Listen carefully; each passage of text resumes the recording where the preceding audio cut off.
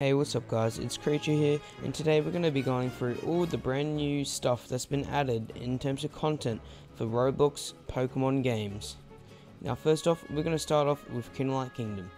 Kinalite Kingdom has had many dev streams as of recently and they have released a lot of brand new information and leaks that I'm going to show you guys now. First off, we have this brand new Kinalite you can probably see here but I'll show a better image on screen. This is the brand new Kinalite that we call Nuki. Now, Nuki seems to be a brawler and plant type. And here's its description. Young, small, yet prone to fighting anything on sight. Nuki pursues the way of the warrior with unrelenting vigor. I think that's how you say it. They do not take kindly to those that interrupt their practice swordplay. I think this is really cool, and it's just another example of Randa's amazing modeling. So I'm super excited to see more of Nuki. Next up, I'm going to look at some more teasers. So we can see this other new Kinalite called Peeper. Now, if I can try to get over the water. But this Kinalite is a water and sound type. Now, the sound type is an interesting type that we don't see in many creature capturing games. But here is Peeper. He's just chilling. And look, it says, you found the Kinalite Peeper. So I think he's really awesome. A lot of the de developers love people. Also, guys, just letting you know, if you're wondering where I am right now, this is actually the brand new Kinalite Plaza. If you want to check it out, I may leave the link in the description. So go check out the Kinalite Plaza, but it's really sick, and you can see all the new 3D models. Like this one here, we have Megalo Megalossal.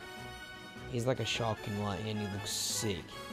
So anyways, let's look at some more leaks from Kinalite Kingdom. Uh, then we just have a visual representation or presentation, my bad, of the raid system that's coming out. So it's just a slideshow of what raids are going to look like. It shows the different spawns, rune stones, raid interactions, raid queues, raid rooms, and raid bosses, as well as a few other things such as rewards, shards, and relics. I think this is really cool. I'm excited for raids to be an addition in Kinalite. But let's head on to some of the other game news. Next up, we have Paramon with all this new stuff that they've been leaking. So first up, if I go to the updates tab, I can show you this brand new Paramon that was designed by Yummy Red Beans. And since the original evolution resembled another Paramon, the artist has redesigned the evolution.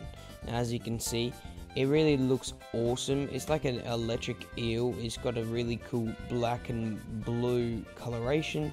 And honestly I just think this looks sick. It's a really cool looking Paramon and it's just a small look of what like it's just a small look of what Randa and the rest of the Paramon team can do in terms of models.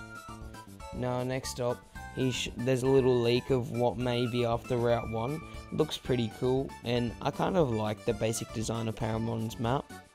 Next up, we have this little fan-made Paramon. We don't really know the name of this yet, but it kind of looks like a fishing lure, and there's like a bunch of different uh, variations. It kind of reminds me of Tatsugiri, but I think it's pretty cool.